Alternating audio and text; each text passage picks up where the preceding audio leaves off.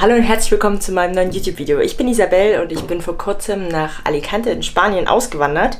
Und in diesem Video geht es darum, wie man denn hier in Spanien als Deutsche Anschluss findet und Freunde findet und Bekanntschaften findet, mit denen man auch mal was unternehmen kann. Freunde finden, es dauert vielleicht ein bisschen länger, aber Leute findet, Anschluss findet und wie das soziale Leben hier ist.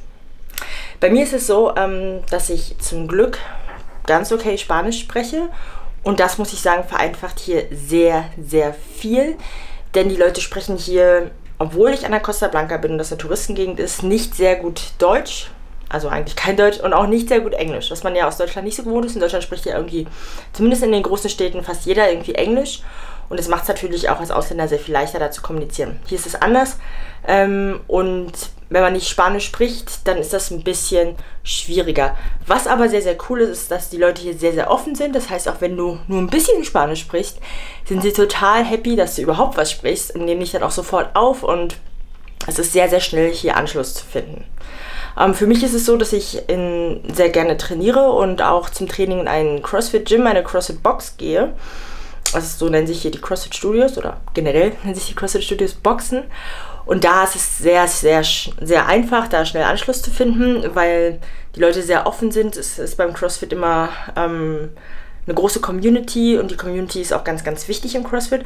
Und auch wenn ich jetzt nicht ähm, der typische Crossfitter bin und jeden Tag da in die Kurse gehe, weil beim CrossFit ist es äh, als Kurssystem aufgebaut, ähm, sondern immer da so mein eigenes Training mache, fällt man natürlich auch als Blondine auch ein bisschen auf und auch mit dem, was ich glaube ich trainingsmäßig so mache, falle ich ein bisschen auf und die Leute kommen auch einfach und quatschen oder schreiben mich auf Instagram an und ähm, es ist sehr, sehr einfach, das ähm, hier Anschluss zu finden, weil die Spanier in der Regel ein bisschen offener sind als äh, wir Deutschen vielleicht auch und auch ein bisschen kommunikativer und auch gleich ein bisschen, ne, ein bisschen close und ein bisschen äh, bisschen schneller einfach auch ähm, Freundschaften schließen. Und wenn sie jemanden total interessant finden, dann quatschen sie den an und fragen den und hey und seid auch mit dabei, wenn wir heute Abend uns treffen. Und dementsprechend habe ich schon ein paar Leute kennengelernt, mit denen ich jetzt auch schon ein bisschen was gemacht habe, äh, mit denen ich zum Beispiel mal in die Berge gefahren bin, weil wir dort ähm, gepicknickt haben und den Sternschnuppen angeguckt haben oder die mich abends eingeladen haben wenn sie irgendwie sich getroffen haben bei anderen Leuten zu Hause und jeder hat was zu essen mitgebracht.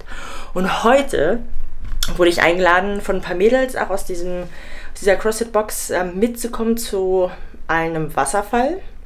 Der heißt Gorgo Catalan. Der ist ungefähr eine Stunde von hier entfernt, wo ich wohne, in Elche. Mehr so in Richtung Valencia. Ist jetzt kein riesiger Wasserfall, auch nicht riesig bekannt, aber ich glaube, es ist ein ganz schöner, ruhiger Ort, wo man einfach den Sonntag verbringen kann. Und da bin ich total gespannt, weil eigentlich habe ich überhaupt noch keine Ahnung. Und das ist hier auch relativ normal und auch relativ spontan alles immer. Und ähm, deswegen, ja, mir wurde gesagt, pack ein Bikini ein. Habe ich an. Und ähm, bereite ein bisschen was zu essen vor, weil wir sind den ganzen Tag unterwegs. Und ja, Normalerweise sieht der Sonntag bei mir folgendermaßen aus. Das ist für viele mal schwer verständlich, aber ich habe ja eine eigene Firma, ich bin selbstständig und sonntags ist immer ganz, ganz viel Arbeit. Das heißt, ich habe das versucht, versucht, gestern schon zu erledigen, die halbe Nacht durchgearbeitet ähm, damit ich jetzt heute mir ein bisschen mehr Freizeit gönnen kann und ähm, mit den Leuten, Mädels sind es glaube ich, ähm, dahin fahren kann. Da ich noch nicht so genau weiß, was mich heute erwartet, ähm, ehrlich gesagt haben die mich gestern gegen 18.30 Uhr angeschrieben. Ähm, die eine ist Trainerin auch in dem Gym, in dem ich ähm, selbst trainiere und äh, auch sogar ein paar Kurse gebe. In dem Gym ist es ein bisschen naja, wie so ein Austausch. Ne? Ich gebe da ab und zu mal so den einen oder anderen Kurs und dafür kann ich ja kostenlos trainieren. Das ist auch so ein ganz typisches spanisches Ding, dass es immer so einen Austausch gibt. Ähm, da ich ja, wie gesagt, noch nicht genau weiß, weil die meinten, hey, wir fahren da und dahin, hast du Bock mitzukommen? Wir fahren im Auto und nehmen dich mit. Äh, ohne Auto ist hier echt ein bisschen schwierig und ich habe hier noch kein Auto. Ähm, das Einzige, was ich weiß, ist, ich soll ein Bikini mitnehmen und was zu essen mitnehmen. So, jetzt zeige ich mal ganz kurz, was ich so dabei habe. Ähm, ganz wichtig, eine Maske, weil hier ist ja überall Maskenpflicht. Auch ganz wichtig. Sonnenschutz. Ich habe mich, mich vor zwei Wochen, war ich am Strand, habe mich richtig verbrannt, obwohl ich eingecremt war. Und jetzt habe ich ein bisschen höheren Sonnenschutz. Auch wichtig für mich ist Mückenschutz. Ganz wichtig. Auch Wasser, Powerbank, Bikini nochmal und ein Handtuch und was zu essen in einer Kühltasche, die ich mir ausgeliehen habe. Ja, ist auch ähm, ganz, ganz wichtig, weil wir den ganzen Tag irgendwo in den Bergen sind ähm, oder im Wald oder wo auch immer. Das wird sich jetzt zeigen, das werdet ihr auch jetzt hier in dem Video erst erfahren und ich auch. Ähm, und ja, das ist jetzt alles so, was ich für den Tag dabei habe und ich hoffe, das reicht. Festes Schuhwerk, wurde mir noch gesagt. Ähm, habe jetzt hier einfach nur ein paar Tonschuhe, aber werden wir mal sehen. Ich bin da auch nicht so besonders empfindlich und ich hoffe, dass das ausreicht und ich hoffe, dass das jetzt ähm, gleich losgeht. Ähm, ich warte jetzt, es ist 9 Uhr, die werden mich gleich abholen. Die Spanier sind ja auch manchmal ein bisschen spät. Ähm, ich auch manchmal, deswegen alles gut und ja, dann geht's gleich los. Eine Stunde zu spät sind die Lieben, ähm, aber egal, ich konnte noch ein bisschen Arbeit schaffen und freue mich jetzt riesig, dass sie da sind und jetzt geht endlich wirklich los.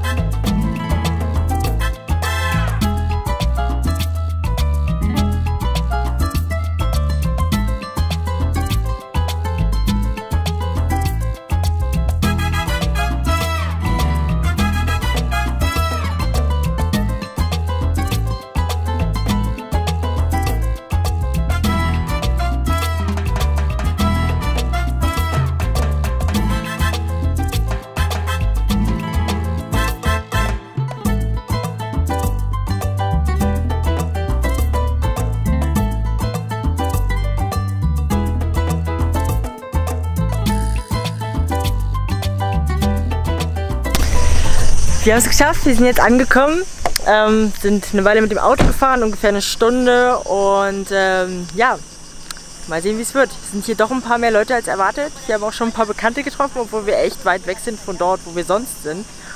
Und ähm, ich bin auf jeden Fall gespannt. Ich freue mich darauf, in irgendein kühles Nass zu springen, weil es doch schon wieder sehr, sehr heiß ist.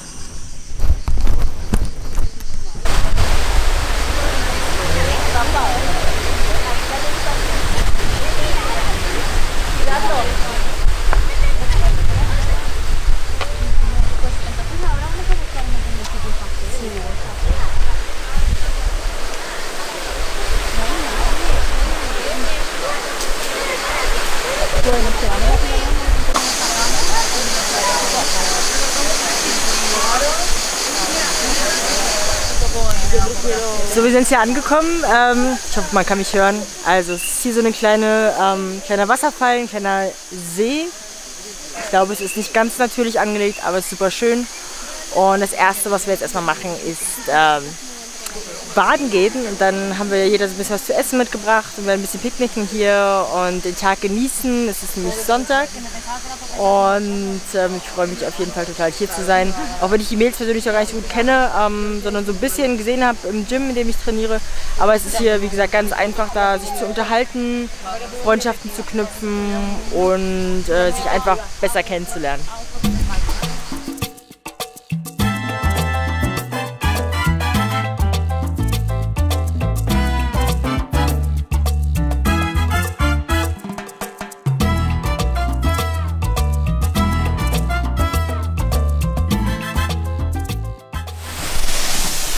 Es ist hier sehr laut. Wir sind jetzt an einem kleinen Wasserfall. Wir sind ein bisschen weiter gewandert, geklettert und sind angekommen hier bei den Cascadas.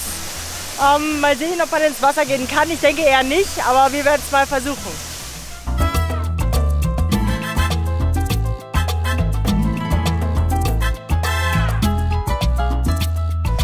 Wir sind jetzt hier noch ein kleines bisschen weiter gewandert, beziehungsweise fast geklettert. Man kann es hier so ein bisschen sehen es ist hier doch ein bisschen ähm, steiniger. Aber es funktioniert alles ganz gut mit den Schuhen, obwohl ich schon auch komplett nass geworden bin, natürlich durch den Wasserfall. Wir sind auch durch den Fluss gelaufen. Mein Schuhwerk ist dann natürlich auch nur semi gut, aber es hat alles gut funktioniert. Ähm, ich bin ja auch ganz happy, weil wie gesagt, die Mädels, die kannte ich halt vorher noch gar nicht. Die eine kann ich so ein bisschen vom Training, aber das war's. Und die sind super lieb, ähm, super interessiert auch. Die helfen einem auch total, wenn man halt sagt, okay, ich kenne mich nicht gut aus oder ich weiß nicht, was das ist oder auch ähm, wie funktioniert das hier in Spanien, ähm, wie sind hier die Menschen in dieser Art und Weise drauf. Also alles in Fragen sind super, super lieb, ähm, einem das zu beantworten. Und ähm, ja, wir werden mal schauen, wie mache. Die geht jetzt auf jeden Fall gerade ins Wasser. Ich glaube, ich werde da auch mal schauen, dass ich auch mal hinterher gehe. weil bei dem anderen Wasserfall konnten wir leider nicht reingehen. Ähm, es gibt hier insgesamt drei Wasserfälle, Cascadas. Und ich glaube, wir haben jetzt den zweiten gefunden. Es ist auch gar nicht so einfach, hier alle zu finden. Mal schauen, ob wir noch den dritten finden.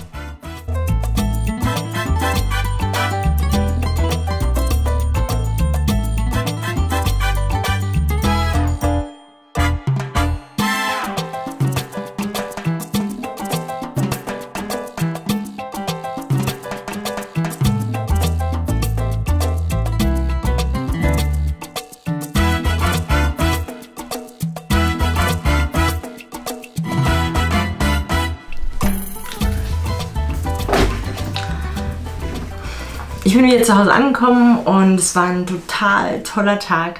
Ihr habt es vielleicht auch ein bisschen gesehen, die Natur hier ist total super und wirklich auch überraschend, weil es ist auch richtig, richtig grün. Das erwartet man jetzt nicht unbedingt von Spanien. Ich meine, wir haben August, dass es so grün ist, aber ähm, es gibt hier sehr viele unterschiedliche Gegenden und in der Gegend, in der ich jetzt wohne, ist man sehr nah an den Bergen und auch sehr nah am Meer. Und das ist ja auch das, warum ich auch mir diese Stadt ausgesucht habe hier zum Leben, weil man halt sehr schnell, wenn man ein Auto hat, habe ich nicht, aber die Leute hatten eins. Wenn man ein Auto hat, ist man sehr, sehr schnell überall.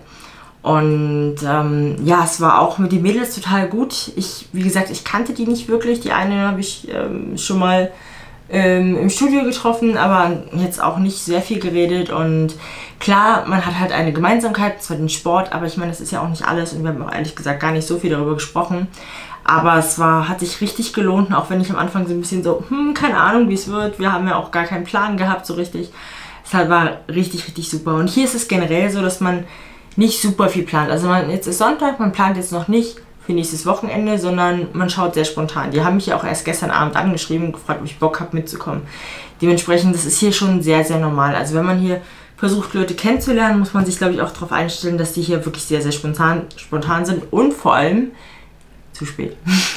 Und morgen kamen wir eine Stunde zu spät, ähm, aber es war auch voll okay, weil in dem Moment konnte ich halt noch ein bisschen arbeiten, weil Sonntag ist ja, wie gesagt, mein längster Arbeitstag eigentlich, weil ich immer die Woche für meine Klienten vorplane, die kommende Woche und habe das jetzt allerdings heute Morgen schon zum größten Teil erledigt und gestern Nacht ähm, habe also schon ein bisschen vorgearbeitet und konnte auch im Auto ein bisschen arbeiten und zwischendurch mit meinen Klienten kommunizieren. Dadurch habe ich so ein bisschen auch äh, heute den Tag gut nutzen können für beides, für Freizeit und für Arbeit. Und das hat mir natürlich, ähm, ja, es war einfach ein richtig, richtig schöner Tag und ich bin total happy, dass ich, obwohl ich am Anfang dachte, hm, Sonntag, da arbeite ich eigentlich super viel, da kann ich eigentlich nicht irgendwo hinfahren und keine Ahnung, wo wir da sind und wie lange wir da brauchen, ähm, aber dass ich mich doch, ähm, ich sag mal, überwunden habe und das gemacht habe, da bin ich echt richtig, richtig happy. Ähm, es ist hier sehr, sehr einfach, Anschluss zu finden, solange man Spanisch spricht. Das habe ich schon gesagt, weil Englisch und Deutsch ist hier nicht so wirklich ähm, verbreitet.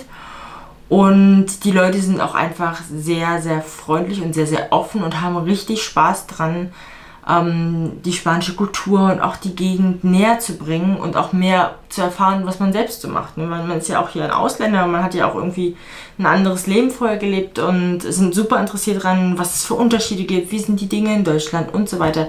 Also sind hier sehr, sehr offen und auch sehr, sehr interessiert. Und das waren jetzt ähm, Leute, mit denen ich vorher noch nichts gemacht habe. Ich habe aber auch schon was mit anderen Leuten gemacht, auch aus dem Studio, wo ich trainiere. Da habe ich die bisher alle kennengelernt. Und da ist es, glaube ich, auch relativ leicht, Leute kennenzulernen. Und die vorher haben mir auch, als wir mal abends aus waren, die komplette Stadt gezeigt. Und das, also haben keine Mühe gescheut, wirklich alles zu erklären, von der Kirche über archäologische Grabstätten und alles. Und das war total super. Und das hätte ich jetzt überhaupt nicht erwartet. Und das kenne ich auch gar nicht so von Deutschland, vor allem nicht von Berlin. Und man muss dazu sagen, ich lebe hier jetzt auch in einer etwas kleineren Stadt. Ähm, die Leute sagen hier auch, es ist eher so ein größeres Dorf. Und ich kann mir vorstellen, in Städten wie Madrid und Barcelona ist das schon ein kleines bisschen anders als hier. Aber ähm, deswegen habe ich mir ehrlich gesagt auch eine etwas kleinere Stadt oder auch deswegen zum Leben ausgesucht, weil ich wusste, hier findet man schon etwas schneller Anschluss. Generell sind die Spanier da auch vielleicht ein bisschen offener als wir Deutschen. Und dementsprechend ist es, wenn man die Sprache spricht und irgendwie einen Punkt findet, um eine Gemeinsamkeit zu finden, sei es der Sport oder was auch immer man machen kann, ähm, irgendwo kochen gehen oder irgendeine Freizeitbeschäftigung, mit, äh, in der man andere Leute kennenlernt. Ich glaube, das ist die beste Art und Weise, hier wirklich auch Anschluss zu finden muss mich an dieser Stelle erstmal bedanken, dass ihr zugeschaut habt und ich hoffe, euch hat das Video gefallen. Ähm, wenn ihr Fragen habt zum Thema Auswandern nach Spanien, Spanien allgemein, Spanisch sprechen, Leute in Spanien und so weiter, ähm, arbeiten in Spanien, dann schreibt mir das gerne in die Kommentare und ich beantworte das super, super gern. Und ja, wenn euch das Video gefallen hat, dann gebt dem Video auch gerne ein Like und abonniert den Kanal und wir sehen uns ganz bald wieder hier auf dem Namaste YouTube-Kanal.